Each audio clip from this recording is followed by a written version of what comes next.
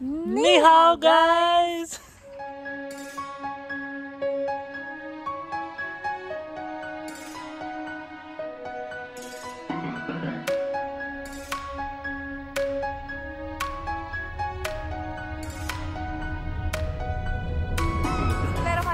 अस्सलाम वालेकुम I am Shafar and I am Hasan and welcome back to our channel कैसे हैं आप लोग? उम्मीद है कि आप लोग बिल्कुल ठीक ठाक होंगे।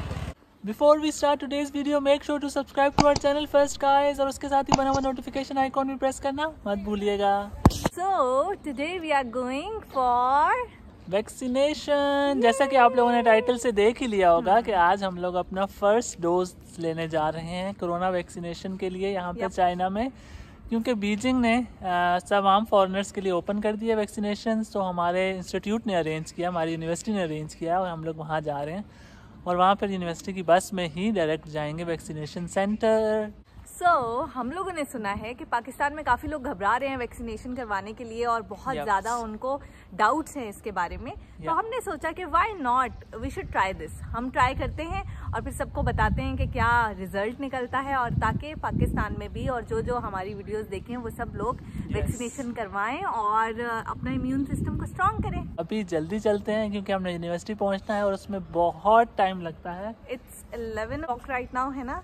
11:30 11:30 राइट नाउ और हमें दो बजे यूनिवर्सिटी पहुँचना है। यस तो इतना टाइम तो हमें लग ही जाएगा। So let's get started sir card ये नहीं।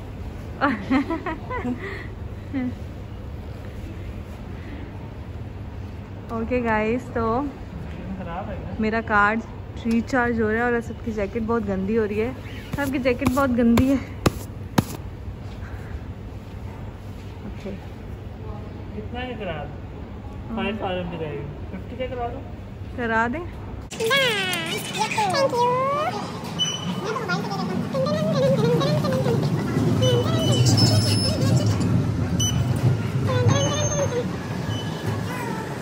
time for outfit of the day shoes jeans hoodie and the Hoodie. coat looking cool and my wow. Nice. So Asad's outfit check, shoes, jeans, shirt. Hmm. तो हम university के करीब पहुँच गए हैं long station पर हैं। किसने और- सोचा था कि हम इतनी जल्दी यूनिवर्सिटी का यूनिवर्सिटी वापस चक्कर लगाना पड़ जाएगा बट क्या कर सकते हैं? यहाँ से हम लोग जाएँगे टैक्सी पे। तो वेटिंग फॉर द टैक्सी और फिर वहाँ पहुँच के आपको अपडेट करते हैं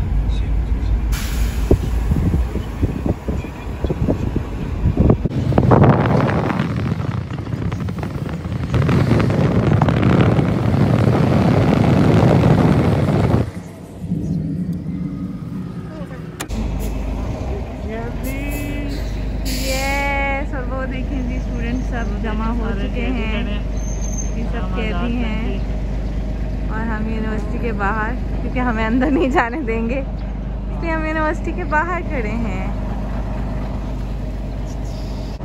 ऑल्सो ये देखें मैंने एक और जुगाड़ लगाया है अपने मास्क का। और सफ़र बहुत बुरा गुजरा। मुझे बिल्कुल भी सफ़र करना नहीं पसंद। ओके गाइस तो ये हमें लिस्ट मिल गई है हमें। हाँ। पे कर दिया है। मेरा नंबर ना लीक हो जाए। तो ये हमारे नेम पे हमने कहा थोड़ी सी इन्फॉर्मेशन आप लोगों को शेयर कर दें कि इसमें वैक्सीनेशन में दो डोजेस होंगी। फ़र्स्ट डोज इंशाल्लाह आज हमें लगेगी और सेकेंड डोज रिकमेंडेड है कि थ्री वीक्स के बाद लगे। या थ्री वीक्स के बाद नहीं हो सकती तो मैक्सिमम एट वीक्स के टाइम पीरियड में लग जाएगा तो गाइस ये हमें फ्री में नहीं लगा रहे हैं। हम लोगों से हर डोज के 94 फोर लेंगे मतलब के 94 फोर ईच यस तो मतलब एक बंदे की वैक्सीनेशन होगी ऑलमोस्ट 190 आर एम बी में। वन नाइन जो कि पाकिस्तानी रुपीस में बनते होंगे। 5000 ऑलमोस्ट 5000 पाकिस्तानी रुपीस सो हम दोनों की वैक्सीनेशन होगी और हमें टेन थाउज़ेंड पे करना है। टीका भी लगवाओ और पैसे भी दो। मेरे लिए तो जुल्म है। एक ही बस है और एक ही बस है। हम इसमें जाने लगे हैं।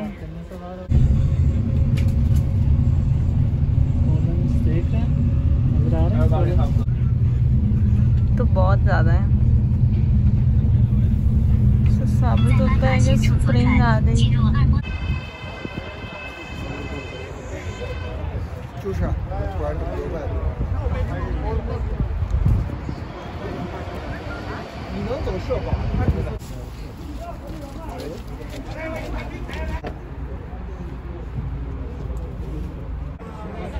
वेट कर कर थक गए I am feeling nervous guys हमें लेटर ऑफ़ कमिटमेंट करना दे दिया है। फिल करना है। इसमें है कि सारी रिस्पॉन्सिबिलिटी आपकी होगी और आपको पता है सब चीज़ों का। तो कर दिया जाए फिल हम लोगों ने हलाल रेस्टोरेंट ढूंढ लिया है और अब हम खाना खाने जा रहे हैं। बहुत शदीद भूख लगी हुई है। लेट सी के यहाँ पे हमें क्या खाने को मिलता है। मेन्यू आ गया और शफक बहुत अरसे से यहाँ का बारबेक्यू खाना चाह रही थी। इतने तो आज शफक को मिल गया। मिल जाएगा Yes. इंशाल्लाह लग तो रहा है। नान और- नान। ओह नान। लेट्स सी लेट्स सी ये सब चीज़ें हम नहीं तो खाते। टाइप है पता नहीं कुछ सैलड्स हैं क्या हमें डायरेक्ट खाना चाहिए भाई।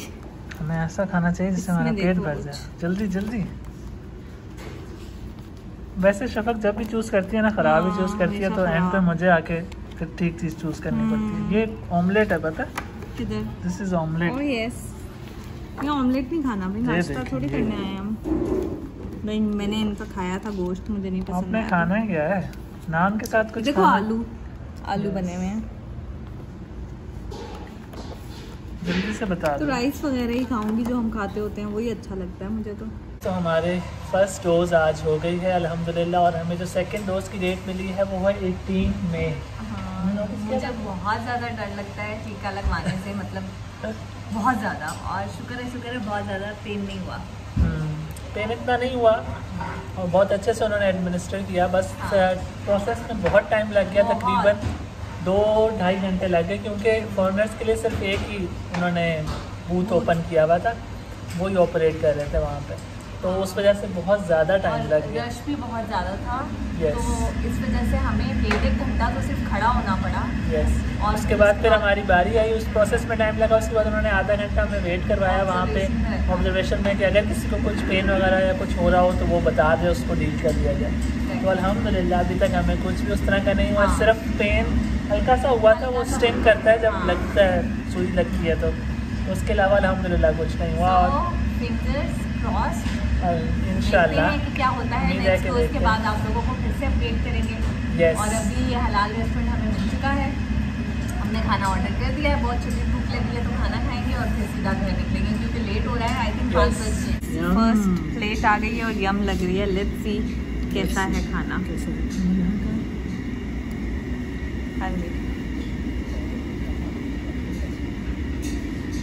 कैसा है? इट्स नॉट बैड लेकिन जो हमारा वहाँ था ना हम्म। वो ज़्यादा मज़े का हमारे बाकी दो आइटम्स भी आ गए। ये तो कुछ आलू गोश्त टाइप है चावलों के साथ। और ये अपनी तरफ़ से तो इन्होंने हमें स्टिक्स दी हैं जी बारबेक्यू स्टिक गोश्त की मटन की। लेकिन ये कुछ डिफरेंट क्या है शफक है चर्बी है। नहीं जो आप खामोशी से खाए जा बहुत भूख लगी है। तो हम लोगों ने खाना खा लिया है। एक प्लेट हाफ़ बच गई थी हमने पैक करा दी है। और ये बिल्कुल भी मज़े की नहीं थी। आई डोंट नो क्या चर्बी दे दी इन्होंने। एक तो यहाँ पे ये बड़ा मसला है। आज सब पे करने गए हैं। तो अब हम लोग पी रहे हैं योगर्ट ये और हम लोग निकल गए हैं सबवे की तरफ़। It's it's the day. So, कल जब हम वापस आए तो हम लोग बे इंतहा थक चुके थे। आप लोग yeah. सोच भी नहीं सकते कि कितना शदीद में थक गई थी। क्योंकि क्योंकि रश बहुत ज़्यादा था। यहाँ पे हम छह बजे ही वापसी के लिए निकले थे और छह बजे यहाँ पे ऑफ़िस की ऑफ़ टाइमिंग्स है। तो बेइंतहा रश था हमें तकरीबन वन आवर या उससे ज़्यादा हमें खड़े होके आना पड़ा तो शफक को बिल्कुल आदत नहीं है। आप लोग सोचें गाइज़ एक तो सारा दिन इंसान वहाँ पे ख्वार हो दो घंटे हमें वहाँ खड़ा रखा था उन लोगों ने।